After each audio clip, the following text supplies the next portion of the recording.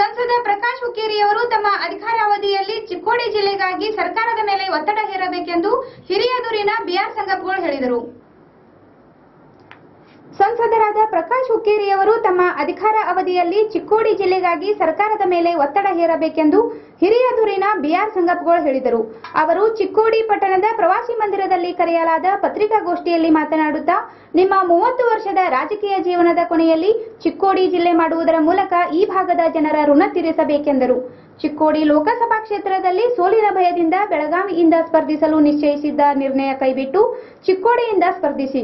ಚಿಕ್ಕೋಡಿ ಜಿಲ್ಲೆ ಮಾಡಿ ಮತ್ತೆ ಚಿಕ್ಕೋಡಿಯಿಂದ ಸ್ಪರ್ಧಿಸಿ ಎಂದರು. ಚಿಕ್ಕೋಡಿ ಜಿಲ್ಲೆಯಾಗದಿದ್ದರೆ ಅದಕ್ಕೆ ನೀವೇ ನೇರ ಹೊಣೆಗಾರರೆಂದು ಆಪಾದಿಸಿದರು. ವಿಷಯ ಐತಿ. ಆ ಹೋರಾಟ ಇಪ್ಪತ್ತೈದು ಲಕ್ಷ ಜನರ ಒಂದು ಹಿತ ಬಯಸೋಲಾಗ ಹೋರಾಟ ಐತಿ. ಎಲ್ಲ ಮಹಾಮುಖಂಡರಿಗೆ ಸಾಕಷ್ಟು ರೀತಿ ಹೇಳು ಸಹಿತ ಜಿಲ್ಲಾ ಆಗಲಿಲ್ಲ. ಬೇಜಾರು ಅನ್ಸುತ್ತೆ. ಮಣ್ಣಿನ ಚಿಕ್ಕೋಡಿ ಒಳಗೆ ಲೋಕಸಭಾ ಸದಸ್ಯ ಪ್ರಕಾಶ್ ಹುಕ್ಕೇರಿ ಅವರು ವೀಸಾ ಕಾರ್ಯಕ್ರಮದೊಳಗೆ ಚಿಕ್ಕೋಡಿ ಜಿಲ್ಲಾ ಆಗಬೇಕು ಅಂತಕ್ಕಂಥದ್ದು ಐತೆ ತಿಳಿದು ಏನೋ ಹೇಳಿದ್ದು ಮಾಧ್ಯಮದಾಗ ನೋಡಿಯೋ ನಾವು. ಅದಕ್ಕೆ ಸಂತೋಷ. ಪ್ರಕಾಶ್ ಹುಕ್ಕೇರಿ ಅವರೇ ನಿಮ್ಮನ್ನೊಂದು ಪ್ರಶ್ನೆ ಕೇಳ್ತೇನೆ ನಾನು.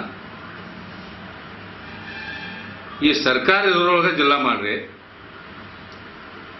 ಸರ್ಕಾರ ಹೋದ್ಮೇಲೆ ಅಧಿಕಾರ ಹೋದ್ಮೇಲೆ ಮಾಡ್ಲಿಕ್ಕೆ ಆಗುದಿಲ್ಲ. ಅದಕ್ಕೆ ನಿಮಗೇನು ಇದ್ರೆ ಇಪ್ಪತ್ತೈದು ಲಕ್ಷ ಜನ ಏನು ಮೂವತ್ತು ವರ್ಷ ಆತು ನಿಮಗೇನು ಸಹಕಾರ ಮಾಡಿದಾರಲ್ಲ, ಮೂವತ್ತು ವರ್ಷ ರಾಜಕೀಯಗಳಿಗೆ ನೀವು ಬದುಕಿದಿರಲ್ಲ ಕೊನೆಗೆ ಚಿಕ್ಕೋಡಿ ಜಿಲ್ಲಾ ಮಾಡಿ ಜನರ ಋಣ ತೀರಿಸ್ರಿ. ಇಪ್ಪತ್ತೈದು ವರ್ಷದಿಂದ ನಮ್ಮ ಬೇಡಿಕೆ ಅಂತ ಆ ಬೇಡಿಕೆ ತೀರಿಸಿ ನಮ್ಮ ಜಿಲ್ಲಾ ಮಾಡ್ರಿ.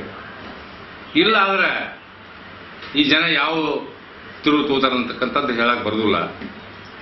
ಮತ್ತು ಜಿಲ್ಲಾ ಹೋರಾಟ ಸಮಿತಿಯವರು ಯಾವ ನಿರ್ಣಯ ತೋತಾರ ಹೇಳಕ್ ಬರೋದಿಲ್ಲ. ಅದಕ್ಕೆ ನಿಮಗೂ ಅದ್ರ ಅರ್ಥ ಆಗಿತ್ತು, ನನಗೆ ಹಿಂಗೆ ಅನ್ಸಾಯ್ತು ಯಾಕಂದ್ರೆ ಇವತ್ತಿನ ದಿವಸ ಮಾಧ್ಯಮದಾಗ ಓದಿ ನೋಡಿದಾಗ. ನಾ ಬೆಳಗಾವಿಗೆ ನಿಲ್ತೇನೋ ಅಂತಕ್ಕಂಥ ಶಬ್ದ ಏನು ಇವತ್ತು ಮಾತಾಡಿರಲ್ಲ ಅದು ಬಹುಶಃ ಇಲ್ಲಿ ಸೋಲ್ ಆಗತ್ತೆ ಅಂತಕ್ಕಂಥ ಭಾವನೆ ಅಂದ್ರೆ ಬೆಳಗಾವಿಗೆ ನೀವು ಹೊಂಟಿರಬೇಕು.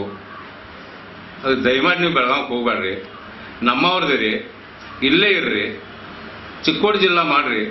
ತಿರುಗಿ ನಾವು ಜಿಲ್ಲಾ ಹೋರಾಟ ಸಮಿತಿಯವ್ರು ನಿಮ್ಮನ್ನ ಆರಿಸಿ ತರ್ತಕ್ಕಂಥ ವ್ಯವಸ್ಥೆಗೆ ನಾವು ಹಣೆ ಆಗ್ತೇವೆ.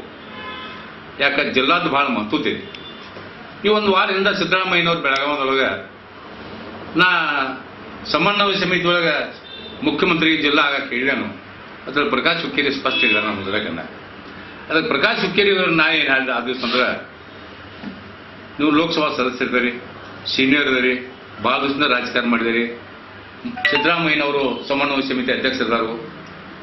ಮುಖ್ಯಮಂತ್ರಿನ ಸಮನ್ವಯ ಸಮಿತಿ ಒಳಗೆ ಜಿಲ್ಲಾ ಮಾಡಕ್ಕೆ ಹೇಳಿದ ಅಂತ ಹೇಳಿದರು. ಅದು ದಯಮಾಡಿ ಪ್ರಕಾಶ್ ಹುಕ್ಕೇರಿ ಅವರೇ ನೀವು ಬೆಂಗಳೂರಿಗೆ ಹೋಗಿ ಮುಖ್ಯಮಂತ್ರಿಯವ್ರಿಗೆ ಭೇಟಿಯಾಗಿ ಸಿದ್ದರಾಮಯ್ಯವ್ರನ್ನ ಕರ್ಕೊಂಡ ಜಿಲ್ಲಾ ಮಾಡ್ತೀರಿ.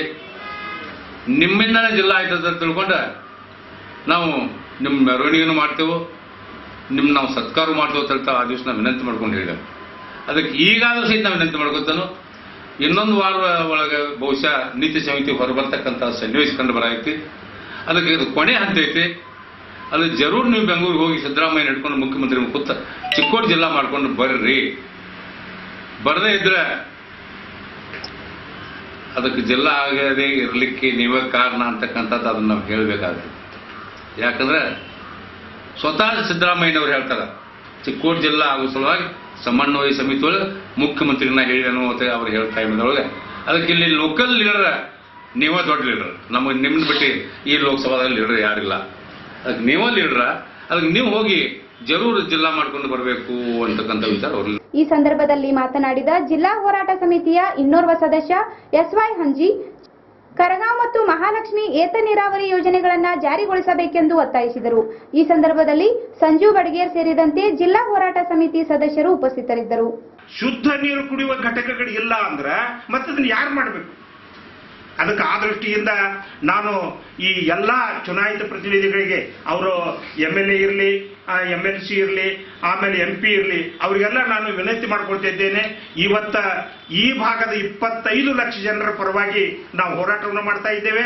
ನಾವು ಜಿಲ್ಲಾ ಆಗದೇ ಇದ್ರ ಕರಗಾವ ಯಾತ ನೀರಾವರಿ ಆಗದೇ ಇದ್ರ ಆಮೇಲೆ ಮಹಾಲಕ್ಷ್ಮಿ ಯಾತ ನೀರಾವರಿ ಆಗದೇ ಇದ್ರ ಆ ಹೋರಾಟಕ್ಕೂ ಕೂಡ ನಾವು ಕೈ ಜೋಡಿಸೋರಿದ್ದೇವೆ.